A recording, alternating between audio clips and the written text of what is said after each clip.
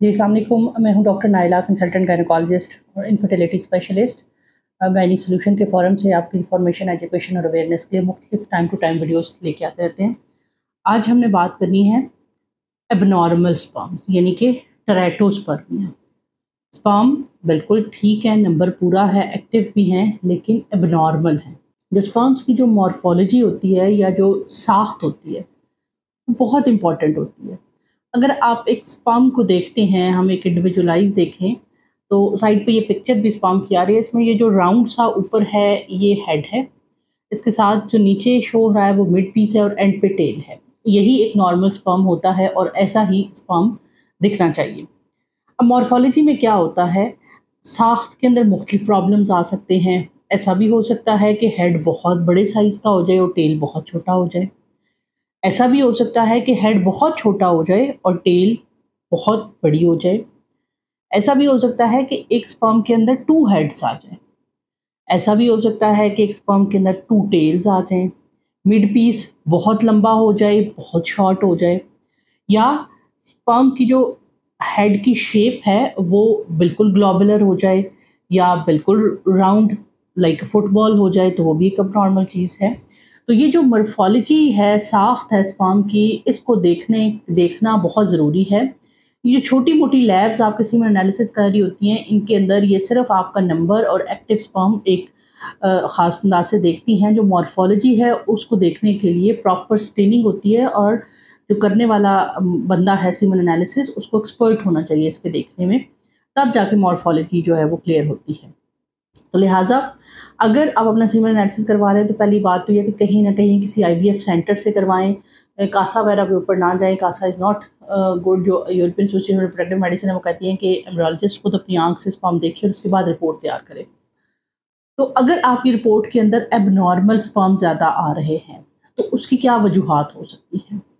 अभी एक रिसेंटली 2023 के एंड के ऊपर बहुत बड़ी स्टडी जो है वो पब्लिश हुई। और वो बहुत बड़े डाटा के ऊपर पब्लिश हुई हुई थी। उसमें ये था एबनॉर्मल स्पर्म एनालिसिस हैं, या जो एबनॉर्मल स्पर्म की रिपोर्ट जिन लोगों में पाई गई, उसमें सबसे ज़्यादा लोग जो थे वो टाइप ए पर्सनैलिटी थी। अब टाइप ए पर्सनैलिटी कौन से लोग होते हैं? जो बहुत ज़्यादा स्ट्रेस और टेंशन का शिकार रहते हैं, बहुत प्रोएक्टिव होते हैं, बहुत स्टेटस कॉन्शियस होते हैं, हर चीज़ के लिए बहुत फ़िक्रमंद रहते हैं और इसके अलावा उनकी पर्सनालिटी के अंदर ये चीज़ देखी जाती है कि उनको हर चीज़ की जो नेगेटिव पहलू है, वो ज़्यादा नज़र आता है। और वो तकरीबन हर काम में बहुत स्ट्रेस और एंजाइटी का शिकार रहते हैं और इन लोगों की ज़िंदगी में प्रॉब्लम्स आम तौर पे बाकी हर ज़िंदगी के मरहले में भी ज़्यादा होती हैं और रिप्रोडक्टिव लाइफ के अंदर भी ज़्यादा होती हैं।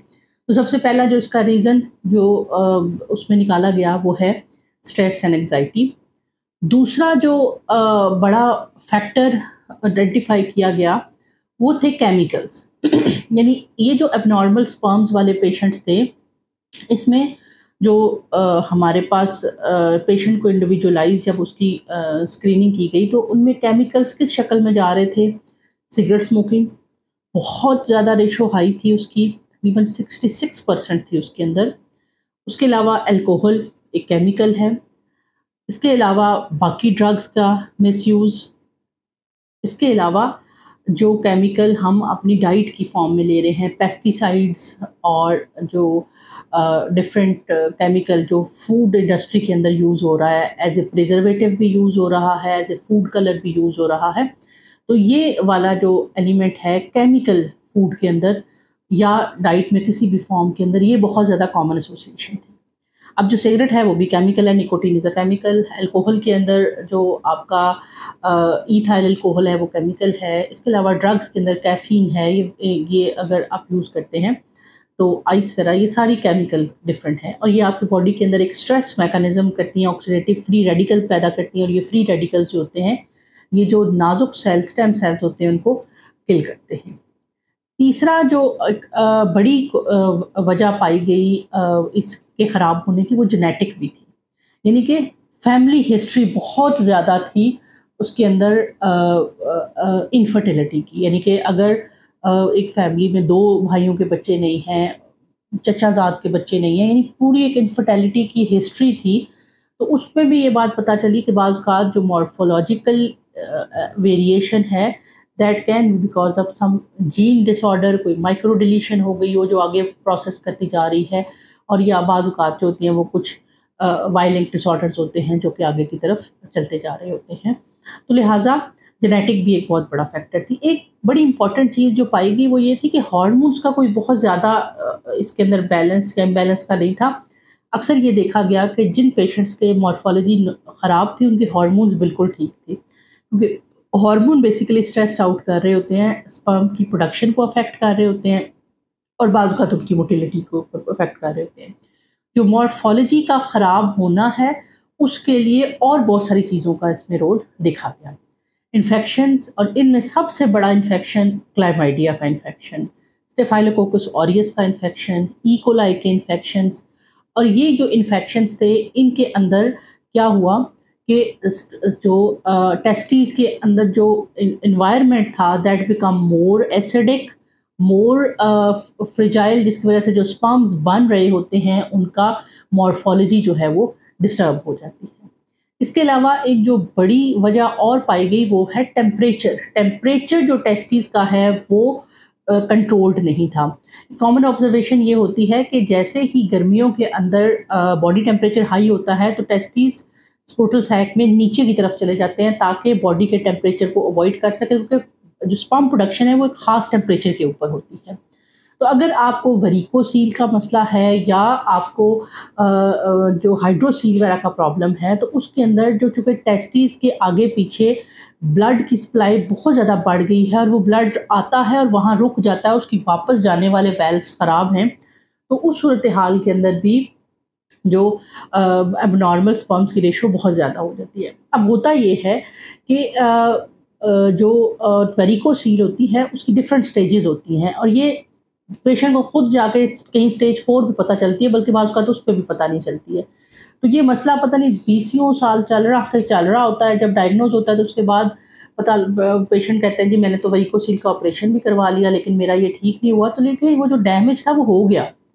अब आपके आ, सर के अंदर कोई फंगस इन्फेक्शन या कुछ हो जाए और आपकी हेयर की रूट ख़त्म हो जाए आपके अंदर गंजापन आ जाए तो अब उसके अंदर अब आपका हल तो ट्रांसप्लांट ही है ना कि आप नई सिरे से फॉलिकल लगाएँ जो डैमेज हो गए हैं वो तो हो गए हैं। सेम यही बात है कि जो आपके लिटिक सेल डैमेज हो गए सेटोलाइज सेल डैमेज हो गए वो दोबारा से आप ट्रांसप्लांट भी नहीं हो सकते इनफैक्ट तो लिवरिकोसिल की सर्जरी का बाज़ बहुत फ़ायदा नहीं होता है। तो अगर आपके स्पर्म एबनॉर्मल हैं और एक ख़ास लेवल तक हैं तो आप किसी डॉक्टर के पास टाइम मजाया करें फर्टिलिटी कंसल्टेंट के पास जाएँ। और एबनॉर्मल स्पर्म वालों का मैंने भी पिछली अपनी एक वीडियो भी डाली है, जिसमें हमारे पेशेंट को वेरिकोसील था स्पर्म की मॉर्फोलॉजी कम थी। तो एक ख़ास लेवल तक अगर कम है तो आईयूआई में बड़ा अच्छा रिज़ल्ट हमें मिल जाता है। आईवीएफ पे जाने की ज़रूरत नहीं पड़ती। लेकिन अगर साथ में काउंट भी ख़राब है मोटिलिटी भी ख़राब है तो फिर हम उसके लिहाज से एक प्लान बना देते हैं। लेकिन अगर सिर्फ़ मॉर्फोलॉजी का मसला है तो जो स्पाम प्रेपरेशन मेथड है, जैसे डेंसिटी ग्रेडियंट मेथड हो गया, उसके अंदर मोस्टली जो नॉर्मल स्पाम्स होते हैं, वही जो है वो हम साइड पे करते हैं। तो जो नॉर्मल स्पाम वाले लोग हैं, जो मॉर्फोलॉजी जिनकी ख़राब है वो पेशेंट राइट फर्टिलिटी कंसल्टेंट से रबता करें और वो पेशेंट आईयूआई से कंसीव करने के चांसेस बहुत होते हैं क्योंकि उनकी काउंटर पार्टनर जो फीमेल होती है, वो 80-90 परसेंट में नॉर्मल ही होती हैं। तो जैसे ही हम उनका अच्छा सैंपल आई करके इंसेमिनेट करते हैं तो मोस्टली हमने देखा है पेशेंट कंसीव कर जाते हैं। तो अगर आपको एबनॉर्मल स्पर्म्स पहले तो अपनी रिपोर्ट में देखें, ये चार परसेंट से ज़्यादा होने चाहिए। अब ये छोटी छोटी लैब जो देखती नहीं है, उन्होंने बाज़ का एट्टी परसेंट नॉर्मल लिखा होता है, ऐसा पॉसिबल ही नहीं है। तो at least four to fourteen percent तक हम कहते हैं नॉर्मल हों, बाकी जितने ज़्यादा होंगे वो बेहतर है। अच्छी आई वी एफ़ लैब से अपनी सीमन एनालिसिस की रिपोर्ट कराएँ, फिर उसमें देखें अब नॉर्मल स्पर्म कहीं ज़्यादा तो नहीं है। अगर अब नॉर्मल स्पर्म ज़्यादा है तो फिर एक अच्छे फर्टिलिटी कंसल्टेंट को दिखाएँ ताकि वो आपको उस अब नॉर्मल स्पर्म में से किस तरह से प्रेगनेंसी को लेके चलना है, वो हम आपको गाइड कर सकें। मिलते हैं इंशाल्लाह नेक्स्ट इसी वीडियो में, तब तक के लिए अल्लाह